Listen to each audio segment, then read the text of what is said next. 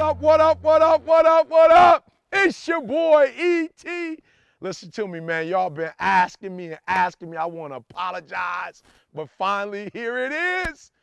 Thank God I'm married. A lot of people been hitting me up like, E.T., why you don't do that more often? All right, look, I promise you, I promise you as we go into this last two quarters, I'm to come with it, all right? So listen to me. I just got a couple things for you. The first one is, it's not about you.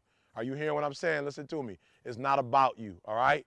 I promise you, I've been at the game for 22 years. August will be 22 years for your boy, and I would do it all over again. I wouldn't change nothing. You feel what I'm saying? I got married almost 22 years ago. All right. So the first thing I want you to know, you heard me say this, man, but you got to get it in your spirit. It's not about you. This thing is so much bigger, and a lot of y'all having problems. Cause for real, I'm gonna keep it 100.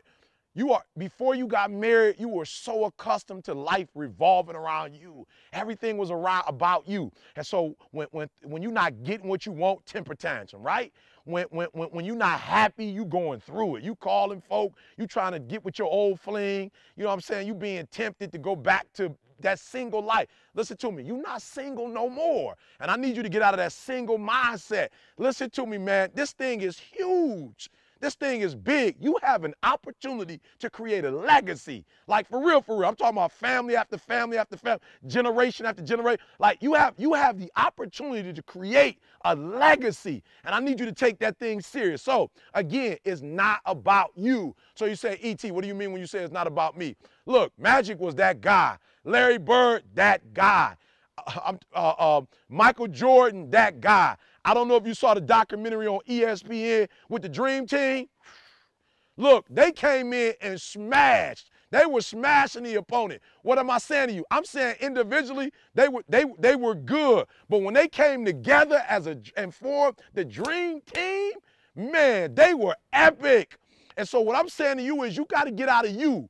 You, you and your spouse have to come together as one so y'all can be epic. You got to get her back. He got to get your back. You got to change that thinking of what can you do for me? Y'all hear me say it all the time. I'm going to keep saying it. It's not what your country can do for you. It's what you can do for your country. And a lot of people don't realize you are sabotaging your own success when all you're doing is looking out for you right? When you start looking out for her and when you start looking out for him and when you get her back, I'm talking about putting all your walls down, all of them. I'm talking about putting all your guards down. And when you look out for that individual 100%, man, it's going to be on another level. So do me a huge favor. Listen to me, it's not about you. I need you to do me a huge favor, and I just need to make sure from this day forward, y'all get each other's back. So I need you to do something for me. I need you guys to find, sit down, literally. Sit down, write down what you like.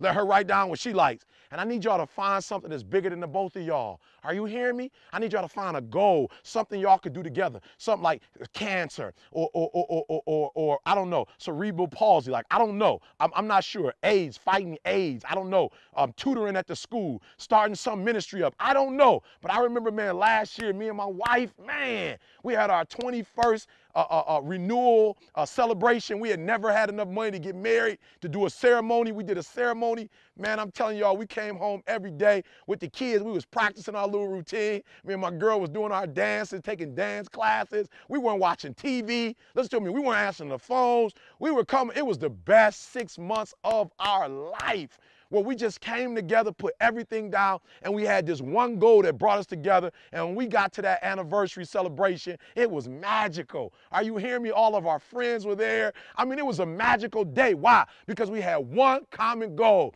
Listen to me, my final one, and you've heard this before the 80 20 rule. Some of you, 80%, if you were really honest about your marriage, like for real, in my case, it's like 90 10, like for real, for real.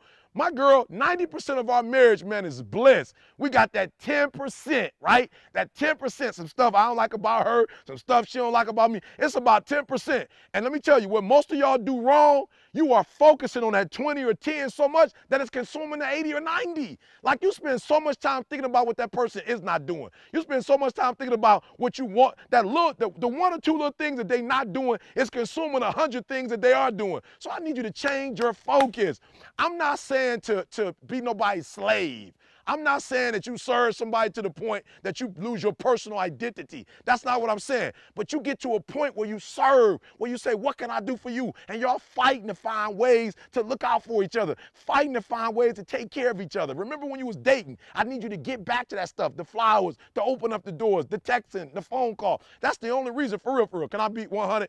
That's the only reason why some of y'all doing that the, the, the, the, extra marital stuff because the stuff that you're doing with that individual, listen to me, reality is if you did it with your own spouse, you'd be happy as well. So you're doing it with the other person, the, the other guy, the other female, and if you did it to your own spouse for real, you would be on another level. So cut texting other people out, cut all that out, calling them, talking to them, do it with your spouse, all right? And find that common goal and stop focusing on that 20. And if you stop focusing on it, it's gonna be 15. Then five years later, it's gonna be 10. Then, then 10 years later, it's gonna be 5%. So one day, y'all ain't even gonna be tripping on that. So it's your boy ET saying, listen to me. I need y'all to go epic for me. Go epic in your relationship. Forget about yourself.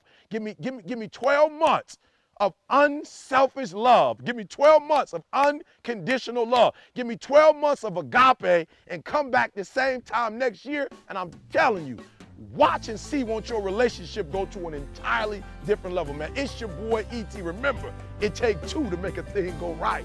It take two to make it out of sight. I'm out.